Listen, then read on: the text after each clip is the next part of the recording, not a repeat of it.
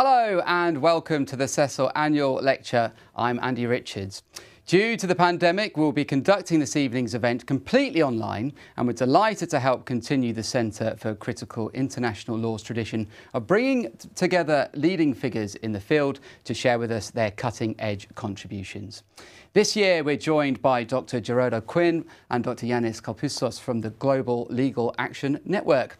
GLAN are a non-profit organisation challenging injustice through legal action and tackling everything from serious human rights violations to environmental harms across borders and communities.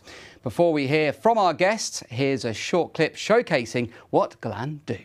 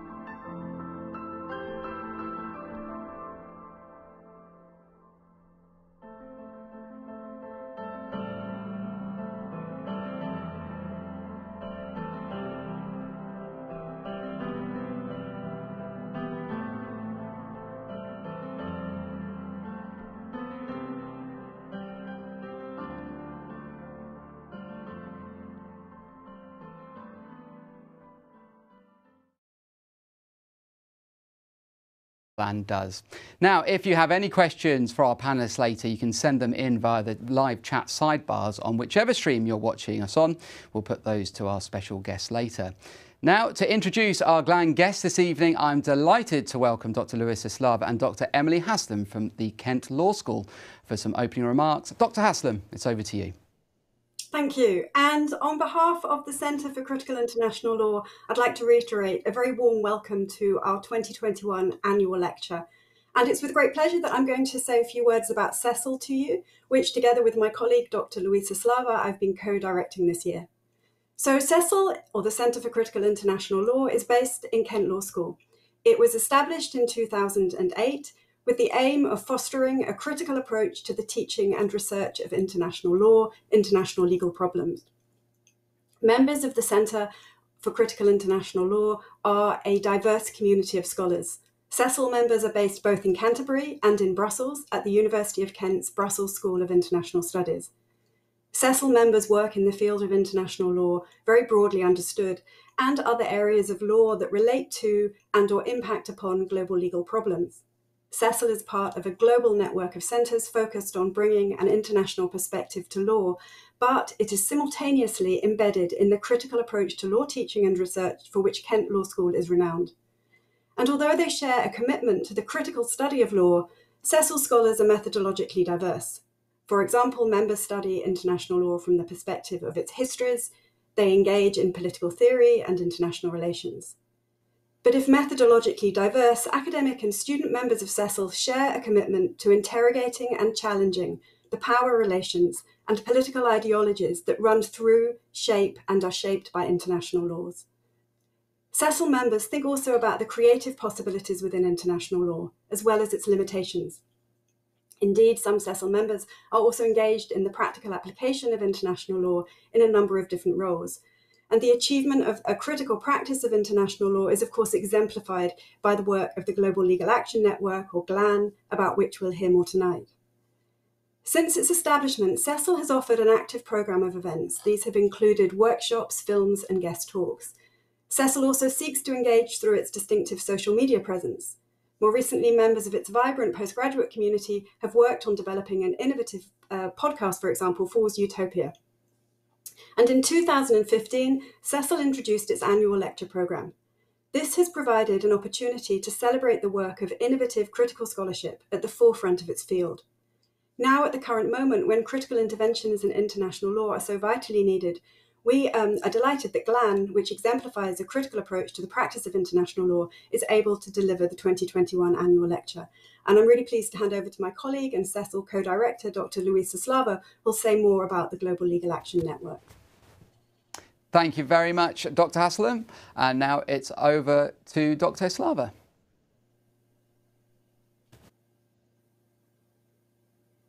For that lovely introduction of the work that we do at the Center for Critical International Law. Um, it is my great pleasure tonight to introduce the organization and the presenters of this year's uh, annual lecture. Uh, this is the first time that the Center for Critical International Law celebrates with the annual lecture an organization rather than the work of a particular scholar in the field of international law. And we decided to do so because of the incredibly difficult moment that we are going through at this particular point in time. Global poverty, environmental collapse, an ongoing refugee crisis, a devastating pandemic, and the actions of reactionary governments across all regions are some of the many features of our present. In response to this, we thought it was our duty to call an attention to collective efforts that are advocating for the rights of the most vulnerable. We decided to also invite the Global Legal Action Network and Dr. Geroid O'Connor and Dr. Yanis Kalpouzos to deliver this year's annual lecture because of the phenomenal achievements in the field of international public lawyery in recent years. GLAN and all the permanent staff and scholars and volunteers supporting the organization on an ongoing basis, on an ongoing basis are nothing less than an, an inspiration for a generation that has grown skeptical of law but who remain aware that legal action is still a fundamental part of the toolkit in the fight for global social justice. In preparing for this introduction, I contacted Itamar Mann, uh, a colleague and a friend of Gearóid, and Yanis, and a collaborator of GLAN in some projects. Um, and Itamar put it neatly for me. The critical impulse is often to be skeptical of public interest lawyering. It is felt that too often people appeal to law to change the world without sufficiently understanding law and its shortcomings in the first place. With this view, however, a division between thinking and action is reified, ignoring broader efforts in the social just in the social sciences and the humanities to recognize the value of praxis in our engagement with the world. For Itamar, and for many current international lawyers, scholars, activists, and for us at the Center for Critical International Law, GLAN has, a, has been able to successfully push against this uh, um, to keep separate critical reflection and action. And with this, GLAN, since, since its establishment in 2016, has been able to advance alternative modes of legal advocacy and serve as a laboratory of progressive lawyering in context of war and occupation, corporate accountability, environmental and economic justice, and migration and border violence. Before I pass the floor to GLAN, I would like to introduce Gearóid and Yanis, uh, who will speak on behalf of the, of, um, the organization tonight. Dr. Gearóid Ó Cuinn serves as a director of the Global Legal Action Network, where he serves as responsible for GLAN's legal actions and strategic growth. He's a visiting fellow at the Transnational Law Institute at King's College London and an adjunct lecturer at the Irish Centre for Human Rights, where he's responsible for, uh, for legal clinical work and where he also teaches transnational lawyering. He has worked directly with human rights groups in Palestine and Syria and provided legal support for numerous NGOs internationally. Dr. Yanis Kalpouzos is a scholar and practitioner in public international law, international criminal law, the law of war, and human rights law. He's a faculty member at City Law School, University of London, a visiting assistant professor at Boston University School of Law, and a regular lecturer at Harvard Law School. He's co-founder of the Global Legal Action Network and has worked on the themes of war and occupation, environmental justice, corporate accountability, and border violence. He has also worked with legal clinics at Stanford Law School, Harvard Law School, the Fletcher School of Law and Diplomacy, and King's College London. GLAN, Gearóid, Yanis, thank you for accepting our invitation and thank you for all the important work that you do.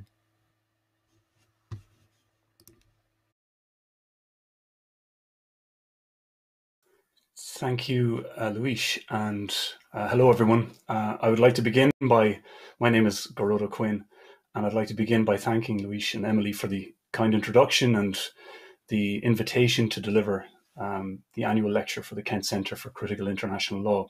It is an honour to have this opportunity to share with you today uh, the work of my colleagues at the Global Legal Action Network. And we hope that by the end of this talk, along with my colleague Yanis Kalpouzos, that you'll have a clearer understanding about the challenges faced when using law to tackle systemic injustice, as well as our attempts to use international law and other domains of law in an innovative manner. Um, and despite our big uh, name and ambition, we are a, a small but nimble organization, which began in 2016 as a, a voluntary endeavor, bringing together academics and practitioners. And in a relatively short period of time, we've taken well over 40 uh, international legal actions, tackling a wide number of issues involving at least 24 jurisdictions and territories. And in building this relatively unique practice, we've had no roadmap. Uh, we've very much learned through doing and reflecting. And we hope to share some of uh, our insights today. But let me first begin by providing you with an example uh, from a multi-year legal action led by uh, my colleague Valentina Azarova, which examines the role of international tourism and the international tourism industry in sustaining the economies of illegal Israeli settlements at the expense of Palestinians living under military occupation in occupied Palestinian territory. Um, and I'd just like to first show you an image um, from a PowerPoint slide that will accompany this talk. And once this appears, you'll see uh, a gentleman standing outside a uh, uh, what is an archaeological site. Um, his name is Essa Burkat. He's from the village of Nabi Samuel in the West Bank. Um, and he's looking into the land of his former village, where he was evicted to make way for an archaeological park. Uh, he was subsequently moved along with his neighbors uh, to a site nearby, which has been uh, continuously um, suppressed with demolition orders. The village's designation as a national park has also subjected it to an unlawful planning regime where buildings, including simple structures, are prohibited. And the island, uh, sorry, the, the village has become isolated by the infamous wall, leaving residents to face severe movement and access restrictions due to their status as West Bank ID holders. I be first, and my colleagues first became aware of the existence of this village when it appeared in a brochure in a local travel shop. European and North American tourism companies regularly visit sites in Israeli settlements uh, in the occupied Palestinian territory and the occupied Syrian Golan in the north. Package holidays make up about a third of incoming tourists to Israel, a booming industry that brings about 5 million visitors in pre pandemic times. And the vast majority of package tours include locations beyond Israel's internationally recognized borders, such as Jerusalem's Old City, um, which you'll see in uh, an advert, if we could click forward once, uh, that appears behind the image of, um, maybe we go back, the animation didn't work. Um, but you, will see there's typical brochures demonstrating uh, East Jerusalem with its distinctive golden dome as being part of Israel. Um, we started analyzing uh, these uh, sites because they entail some of the most serious violations of international humanitarian law and hum human rights law and have a severe humanitarian impact on the local population. We looked at the online marketing materials from roughly 100 tour operators operating across 10 jurisdictions over the course of the last two years. All take their customers to at least two settlement sites in the OPT without fail and some also offer visits to sites located in the Syrian Golan. all investigated companies misrepresent uh, parts of their itineraries by portraying sites such as East Jerusalem and Bethlehem or the occupied Golan as being part of Israel. And we have published this research in a recent report with the Center for Research on Multinational Corporations, SOMO.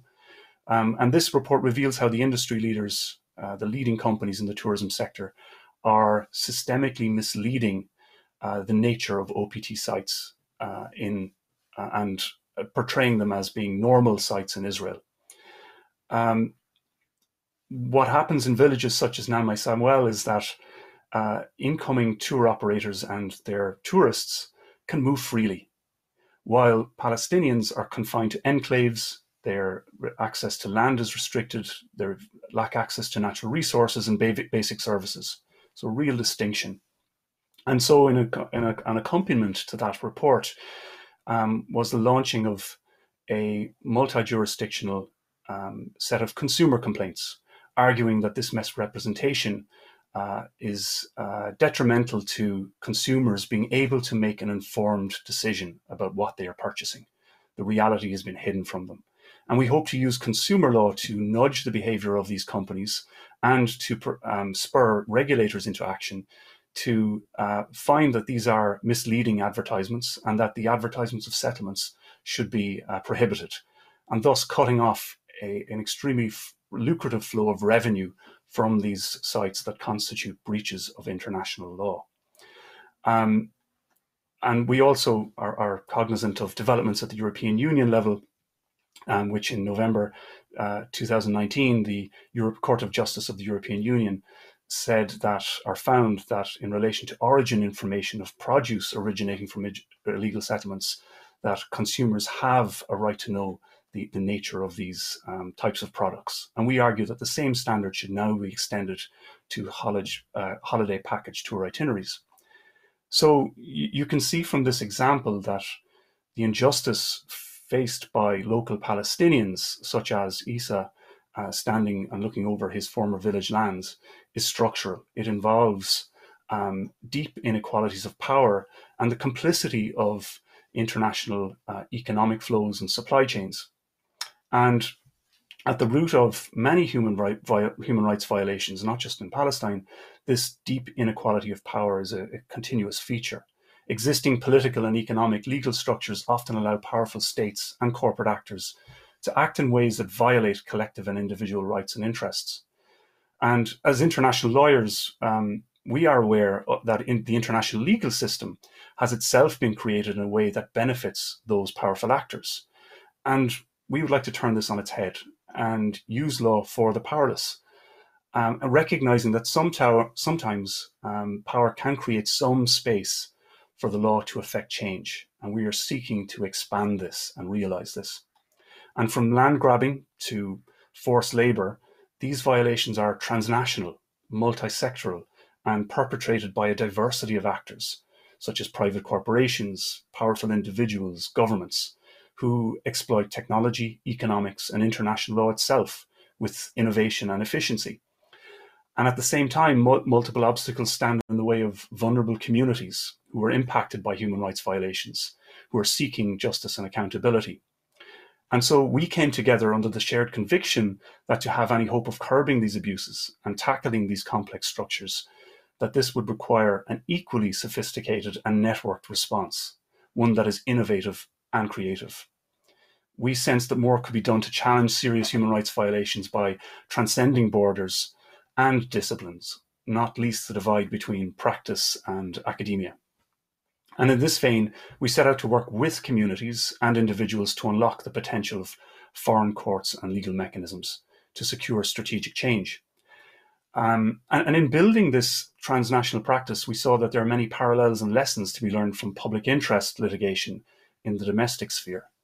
Ultimately, all public litigation, public interest litigation, speaks to the tension between the individual's interest and the broader impact a concern for collective rather than individual justice.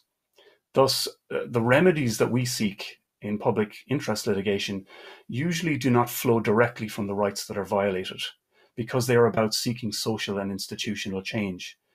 And it's in this context that critical legal scholarship has warned of the individualizing effect of the human rights lens. As the uh, US historian Morton Horwitz said in the context of public interest litigation, it draws energy and imagination away from structural change, denying equal legitimacy to claims that the overall distribution of wealth and power is unjust. So, not only are we dealing with a, distance between individuals and the community, we should also be concerned about the distance between those doing the lawyering and the affected communities.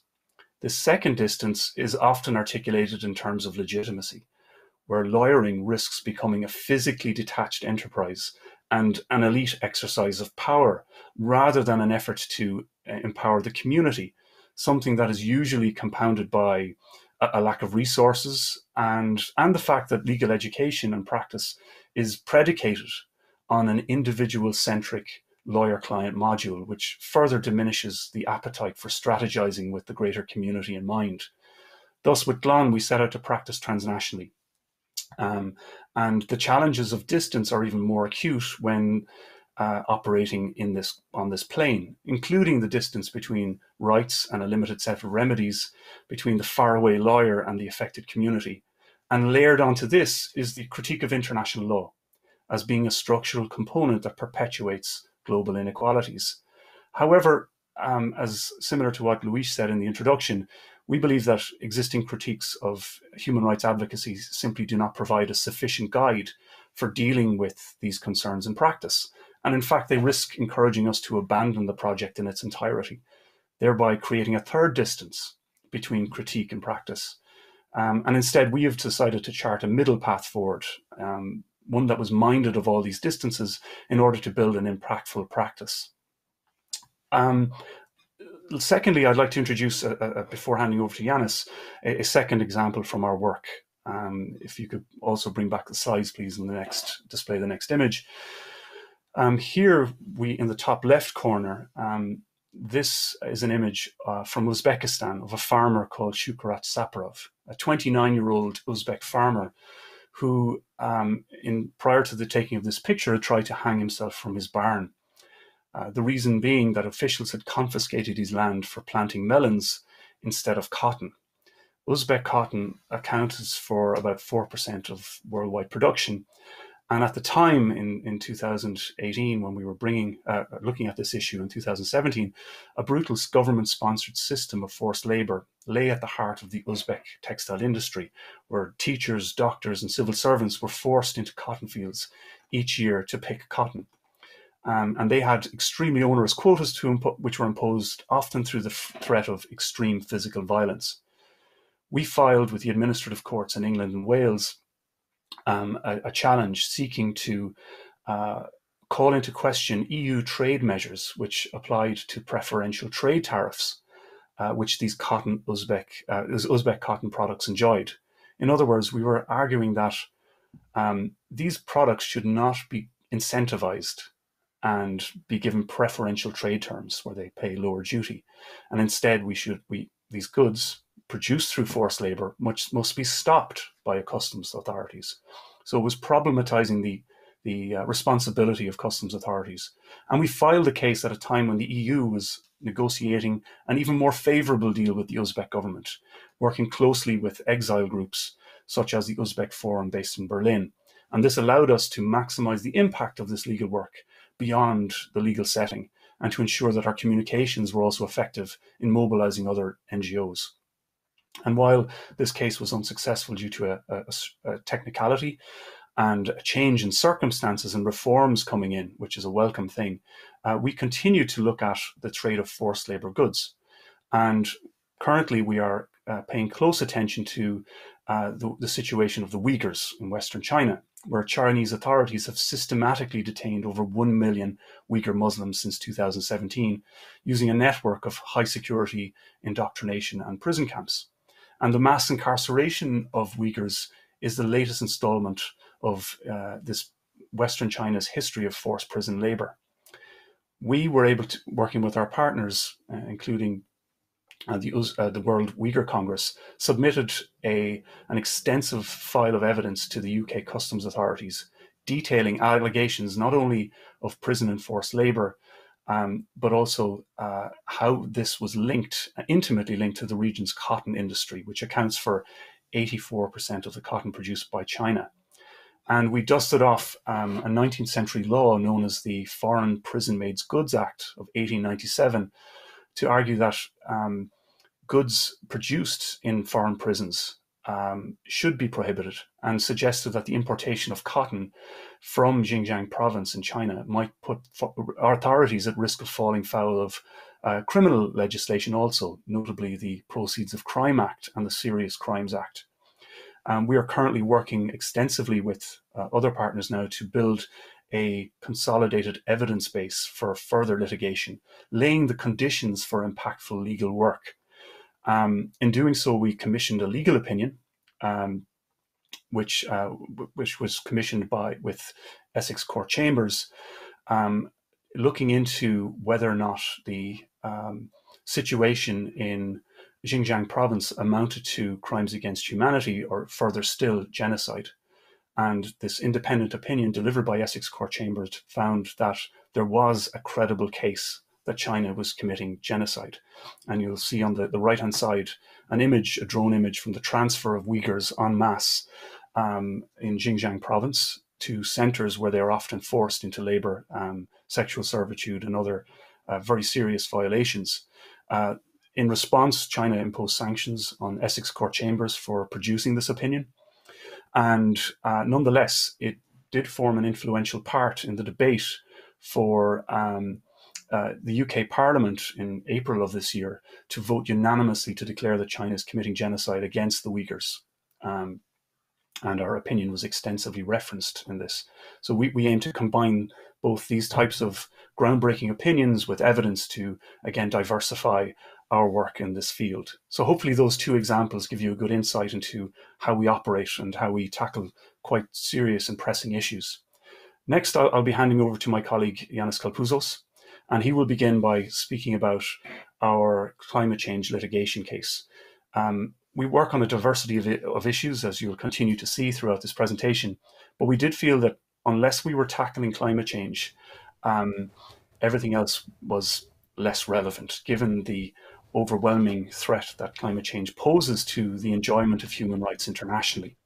So I will um, wrap up my part of the talk, and uh, we will now share with you a, a, a short video um, that highlights our landmark case on climate change, the first time that climate change has been brought before the European Court of Human Rights, where we are suing 33 countries. So I'll leave you with that video now. Thanks very much.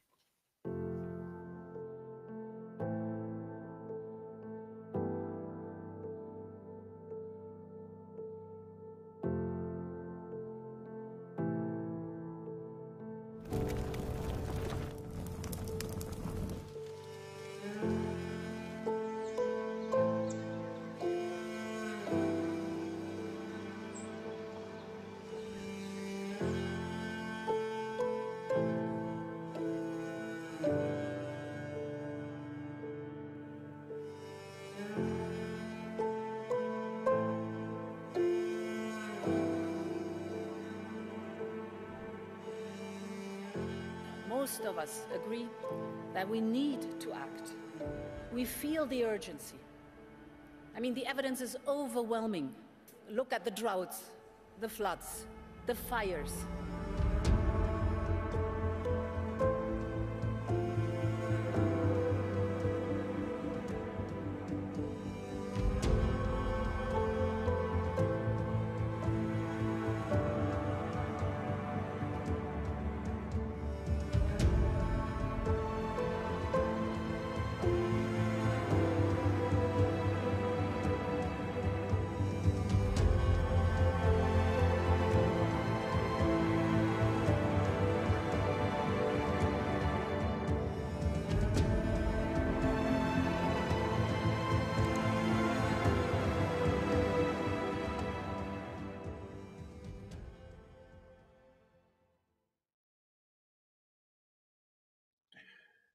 Hello, everyone. Uh, my name is Jens Kalpouzos, and it is indeed an honor to be invited to uh, give part of the CECIL uh, annual talk. Uh, and it is an honor for the organization GLAN to be celebrated, to use the term of uh, Luis, uh, in this particular manner. So we just watched a video uh, related to our uh, submission to the European Court of Human Rights, uh, rights on uh, against 33 states on the question of climate change, trying to use a human rights law angle uh, to address the uh, violations of states' obligations according to the climate change regime. that case is effectively trying to do three things. We want to articulate the real harm caused to real people, uh, our clients. Uh, we want to uh, express and highlight the shared and individual responsibility of the major polluting states. Uh, and we want to find the best way for the international and the domestic uh, parts of the international legal system to work together to address the issue. Now, this may sound uh, more or less straightforward, but it is not, because both the climate change legal regime and, to some extent, the international human rights law regime have been created in a way that obscures both harm and responsibility uh, and which makes it harder to address the real issues posed by climate change. Indeed, the default position is that almost everyone is responsible and almost everyone or everyone is affected. And behind that default position, both the problem itself and the structural inequalities that are associated with the problem persist. Um, so we are trying to address that with specific parts, if you will, of our legal argumentation. Uh, and we can have the first uh, slide up uh, that shows the structure of that argument that I want to share with you. So, firstly, uh, we want to um, see and we want to express and want to show the real harm in terms of uh, rights affected. Um, it is actually not this slide. It is there we go. Uh, the actual rights that are being affected, uh, which is in our argument the right to life and the right to private life. And interestingly, the European Court of Human Rights, when it communicated the case to the states, added the question, a question related to uh, inhuman and degrading treatment. Uh, and these are real rights that are causally affected, clearly affected uh, in the future, um, not conjecturally, uh, and that belong to specific individuals. And therefore, that there are indeed real victims and claimants are real victims whose rights are being affected in this instance.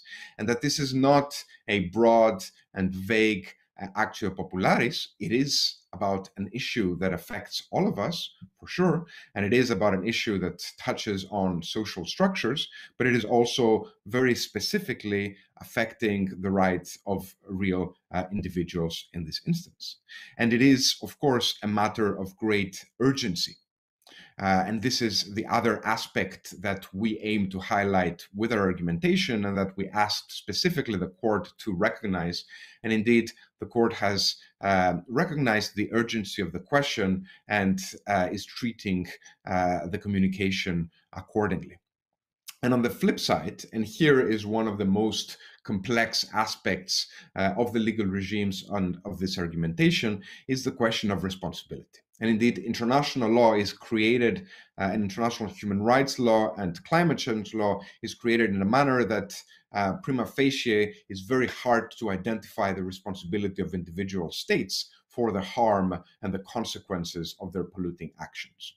And we are arguing, using a theory of shared responsibility under international law, that to the extent that states uh, and specific polluting states, according to scientific evidence, are contributing to the indivisible harm, uh, then their responsibility is both shared and individual, and importantly, it is presumed. And the court needs to find that and, as it were, uh, refer the matter back to states in order to uh, counter that and do something about this. And in the process of identifying the presumed and shared responsibility of the 33 states, we argue that ambiguities in terms of the sharing aspect and the contribution to the responsibility should not benefit the polluters, should not benefit the powerful states, but should benefit uh, our clients, should benefit the victims. And also, what is related that a um, concept that exists in uh, human rights law and especially in the European human rights system, the margin of appreciation, whereby uh, the court defers to states and to domestic authorities in terms of balancing particular interests, should be interpreted narrowly in this instance, despite sometimes the European Court of Human Rights in environmental issues accepting a uh, wide uh, appreciation. Uh, and that uh, is the articulation of the reality of the harm and the reality of the responsibility. And then what remains is the question of how is this best to be addressed using legal tools, using uh, legal um, uh, institutions. And we are trying to articulate and address a combination of the domestic and the international that would contribute in this instance. Uh, we are trying to address uh, the European Court of Human Rights, the regional level, uh, not in order to ignore domestic courts and domestic institutions, but in order to empower them uh, following a decision of the European Court of Human Rights, which we'll hope will further empower and boost the beginning uh, of the important uh, set of jurisprudence that has developed already at the level of domestic courts. And our arguments around jurisdiction and around um, the exhaustion of domestic remedies follow that uh, line of thinking. I'm not going to go into detail because they're quite technical, but let's just say that in terms of exhausting domestic remedies, we're arguing that um, there is no, uh, there are no resources and there is no time to go uh, door to door to the 33 domestic um, sets of jurisdictions before addressing a matter that is uh, fundamentally within the espace juridique of the European Court of Human Rights, a, uh, a regional issue. And this uh, is um, this approach is reflecting the goal of the organization as a whole. Um, and we can uh, put down the slide uh, now. Uh, it's, it's, it's, it's reflecting the goal of the organization as a whole, which is to use uh, their technical tools of the international legal system and their expertise in a way that illuminates what the legal regime, or indeed the way that the legal regime is practiced, often obscures and to begin addressing injustice that is structural, as Gearóid said, and that is based on the inequality of the international system. While keeping in mind that law is, uh, indeed, to some extent, uh, always is uh, part of the problem of structural inequality and injustice. In short, it is about the way that we try to engage international law critically if we may see the following slide, uh, this uh, starts from an understanding that both the rules uh, and the structures of the international legal system, both historically but also at present, benefit the most powerful actors, uh, but also then, as Gearóid said, to investigate exactly how some rules and some concepts and some institutional and jurisdictional avenues may nevertheless be useful in both highlighting and maybe even begin to challenge some of the structural injustices of the international legal system alongside political strategies, alongside non legal uh, forms of advocacy. And in that context, uh, understand exactly what level of uh, the legal and the political uh, can be um, combined in order to achieve the ideal um, result. Ideal being a misnomer most of the times, as is sometimes uh, the use of the concept of strategy. So we do transnational and international strategic litigation, but we are very keen on uh, saying to ourselves as well as to others that the concept of strategy in this uh, context needs to be engaged with modesty and without any pretension that we know exactly the causal effect of the mix of legal and political advocacy in these complex and transnational matters. But this is the way that we aim to engage specific um, doctrinal and conceptual and institutional aspects of the international legal regime.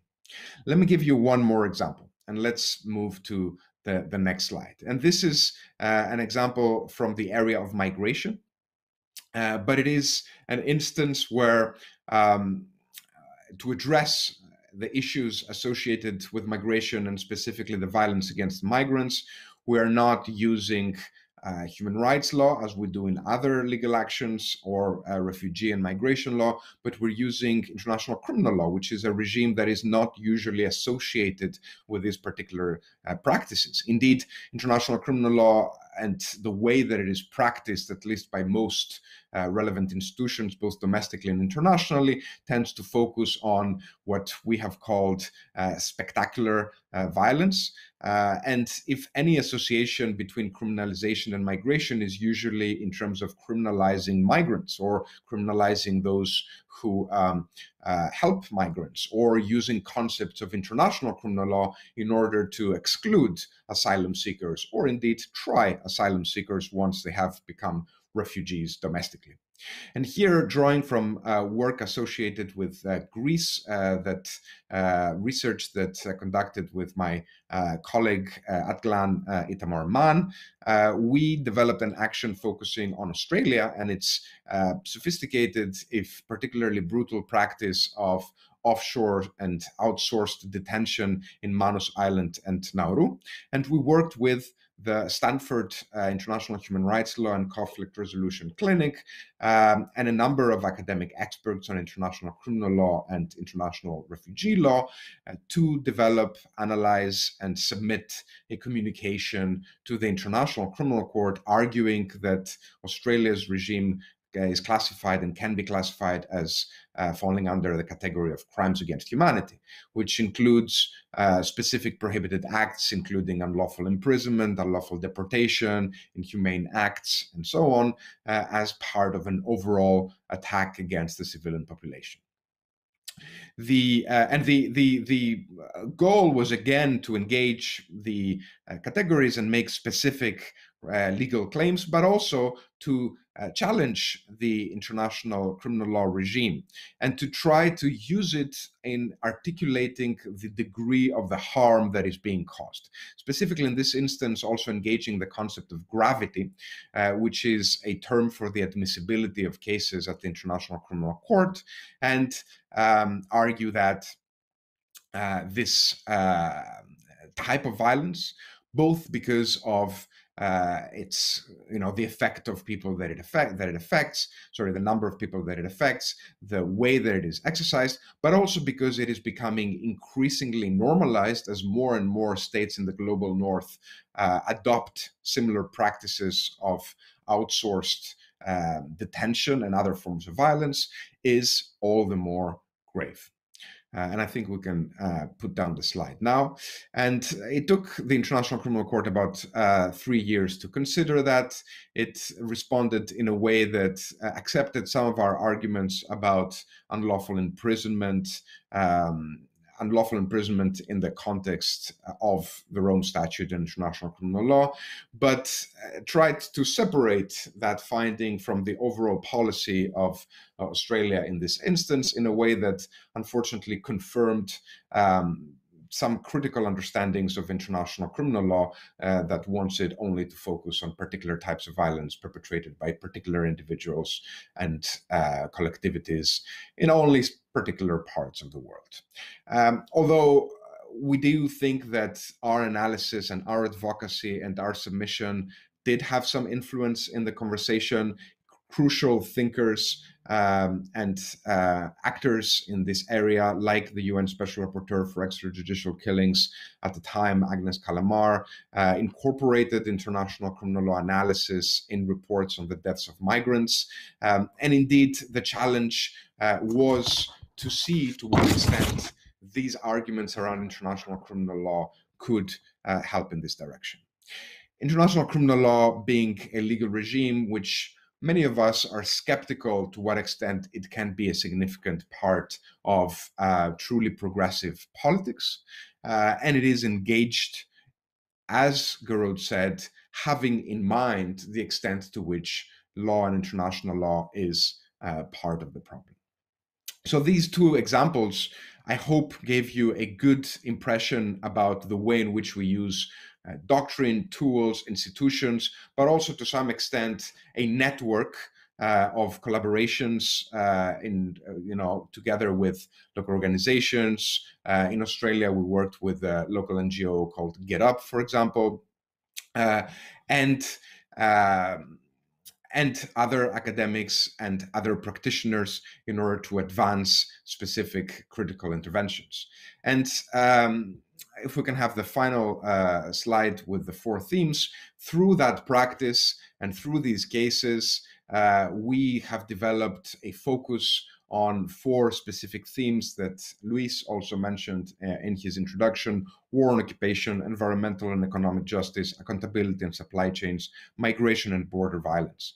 All four themes touch on ways in which global inequality manifests itself and ways in which international law can be part of the problem, but also could maybe be engaged in a manner that highlights and at least aims to address or remedy uh, some of these questions of structural injustice. In Gearóid's talk, in my talk, and in the testimonials that you will hear uh, following, my contribution, you will hear about other examples uh, associated with these themes, and we'll be very happy also to touch on different cases and different approaches to these themes in the Q&A. So thank you very much uh, me.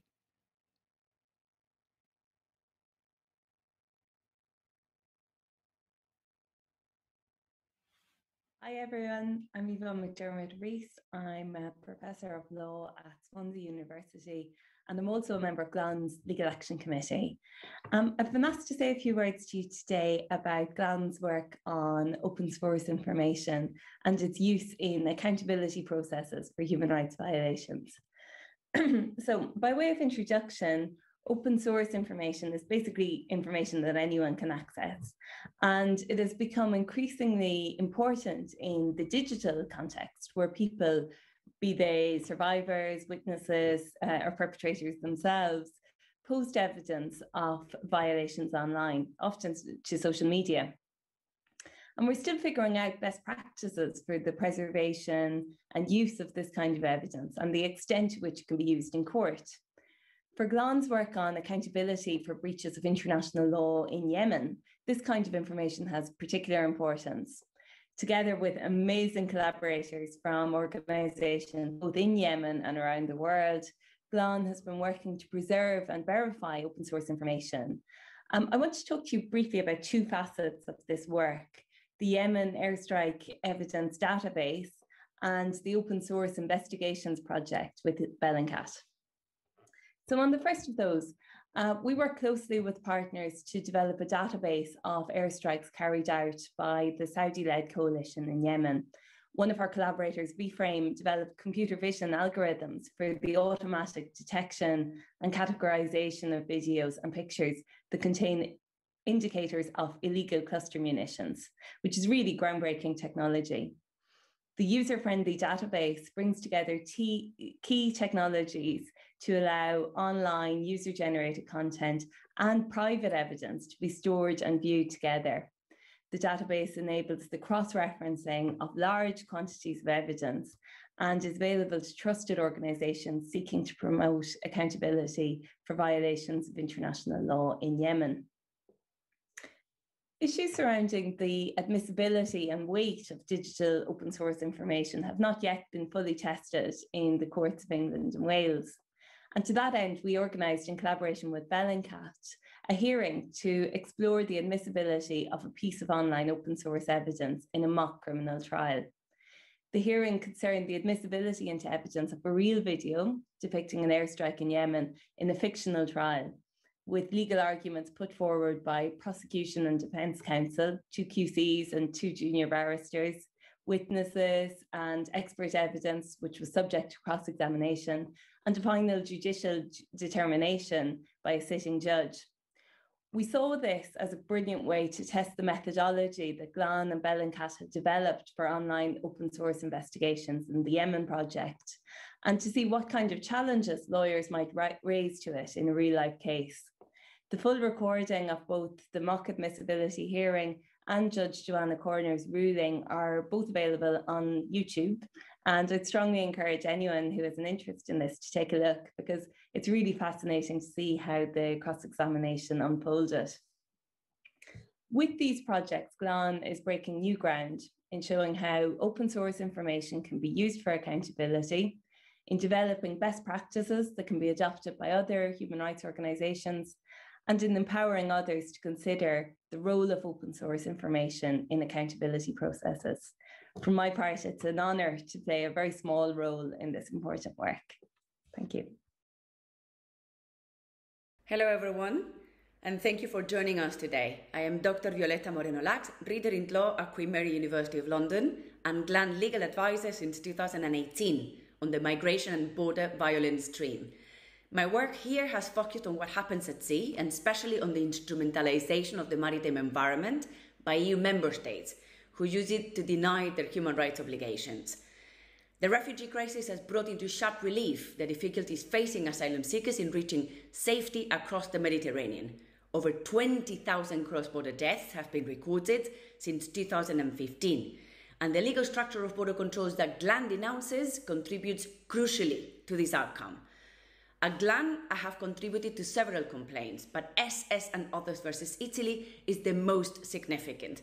I'm very proud to lead the legal team and to have drafted our observations to the Strasbourg court. The facts relate to an incident that occurred in November 2017 when the Libyan Coast Guard violently interfered with the efforts of the NGO vessel Sea-Watch 3 to rescue 130 migrants from a sinking dinghy. At least 20 of them died. The intervention was coordinated from Rome by the Italian Maritime Rescue Coordination Centre. Our submission challenges the legality of this practice, whereby Italy calls on the Libyan Coast Guard to intercept boat migrants and return them to Libya, where they face horrific conditions. The core argument is that such a mechanism of contactless control, a term that I coined in my academic research, relying on a third party that acts as a proxy, cannot be used by states to evade their human rights responsibility. Apart from its paradigm shifting potential regarding our understanding of jurisdiction and the reach of state obligations in extraterritorial scenarios, this case is representative of GLAN's innovative approach to strategic litigation. The case is the result of a cooperative effort between GLAN, in partnership with the Italian Association for Juridical Studies in Migration, ASGI, which received support from Yale Law School's International Human Rights Clinic and the Migration Law Clinic of the University of Louvain-la-Neuve for the legal part of the work. The submission makes use of first-hand evidence provided by Sea-Watch and compiled by Forensic Oceanography, who produced a detailed reconstruction of the incident and the policies that gave rise to it. Further materials were collected through the SAROBMED project, the Search and Rescue Observatory for the Mediterranean, which is an international multidisciplinary consortium of independent researchers and civil society organizations, including many of the search and rescue NGOs emerged since the refugee crisis. We followed what we've called a collaborative research in action approach, whereby Sea-Watch provided the raw material, then forensic oceanography analyzed it and systematized it, contextualizing it with further information collected from open sources. This all was then digested by the legal team in our application to the Strasbourg court. In this way, we managed to channel the knowledge and expertise of several civil society organizations and academic researchers into our strategic litigation efforts as the best way to serve the applicant's interest and contest the wider policy on which the violations that they have suffered are based. This research in action methodology is what I find the most valuable in GLAN's approach to lawyering, and I'm very pleased to be able to contribute to it. Thank you very much for your attention and enjoy the rest of the session. Thank you there to Dr. Valentina Azarova and Professor Eva McDermott Rees for sending those testimonials in. Now, time to answer your questions from YouTube and Facebook with Dr. Ó Cuinn and Dr. Kalpouzos here on the line. Um, we've had uh, people watching all over the world. Someone has been watching from Indiana, USA, and other places around the UK.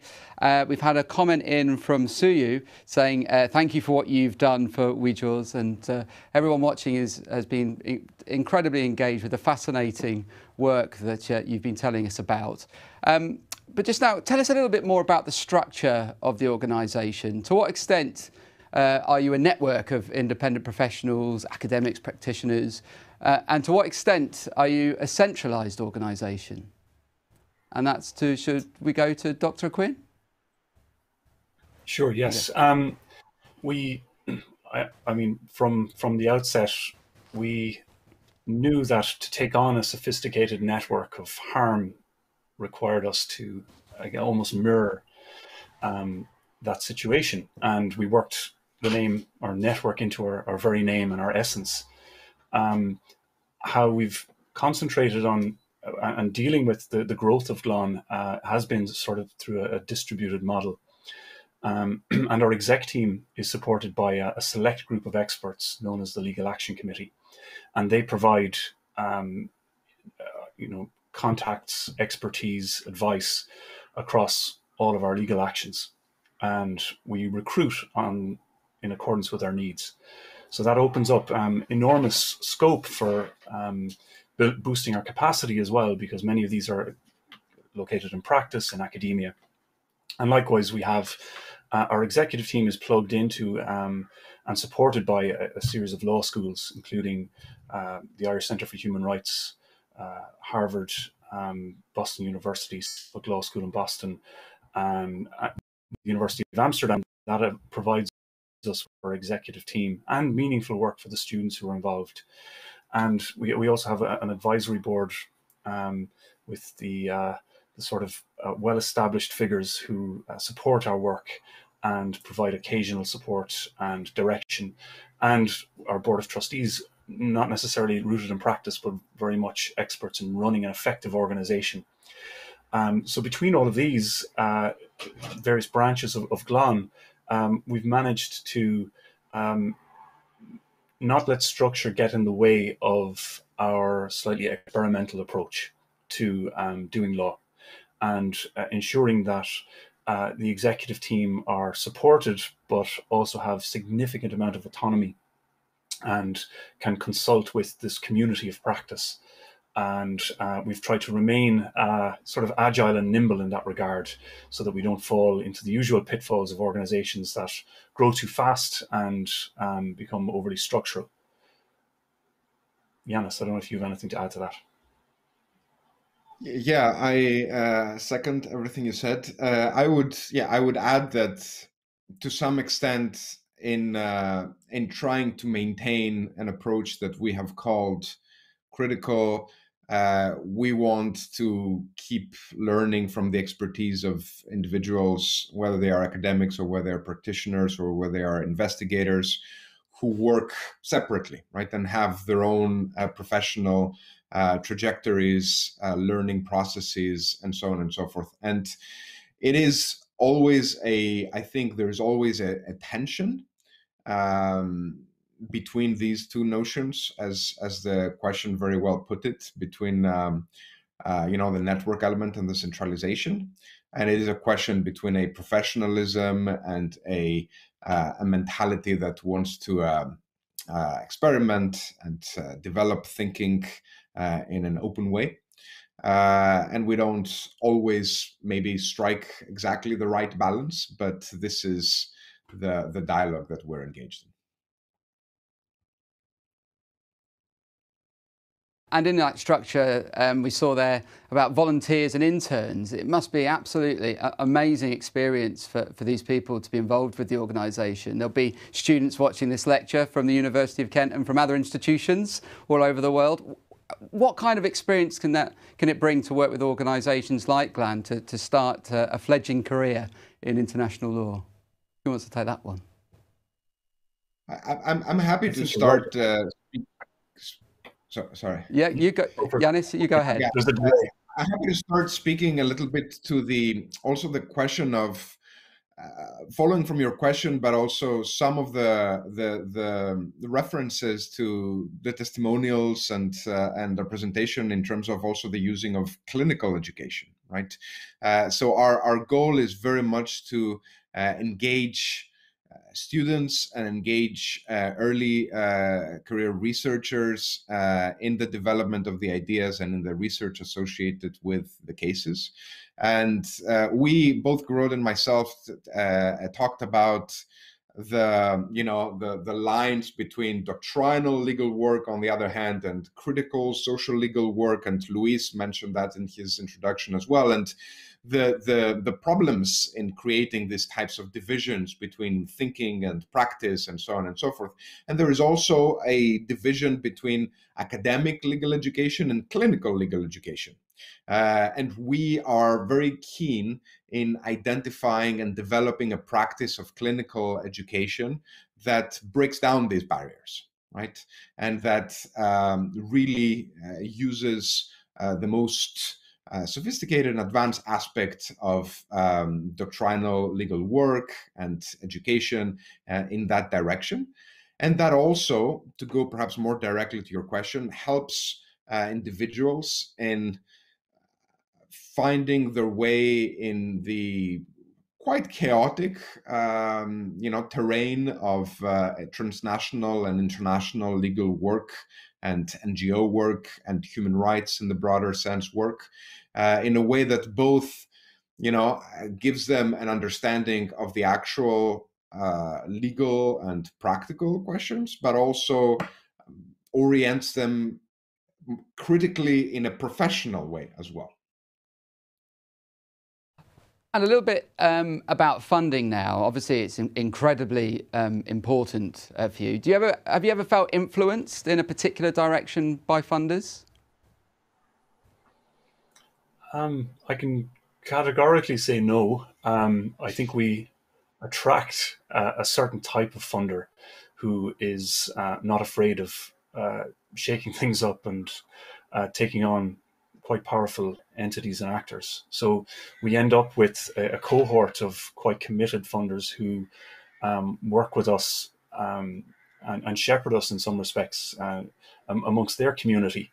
Um, and, and, secondly, we're also starting to prioritize um, uh, crowdfunding and digital fundraising to really diversify and uh, nurture our own independence so that we can uh, really uh, behave in a fully autonomous way and, and our climate change case um, was launched and is being sustained through uh, crowdfunding. Well, thank you very much indeed. We've absolutely flown through that hour. It's been a, a fascinating uh, listen, uh, and thank you ever so much. And that's just about all the time we've got uh, now for this year's Centre for Critical International Law lecture. My thanks to Dr. Ó Cuinn and Dr. Kalpouzos from GLAN, Dr. Eslava and Dr. Hassan from Kent Law School, and a big thanks to you at home uh, for sending your questions in and watching. If you want to find out more about GLAN, go to www.glanlaw.org or follow Glan underscore law on social media. That's all from me. Thanks for watching, and we look forward to seeing you hopefully in person at next year's CECIL Lecture. Goodbye.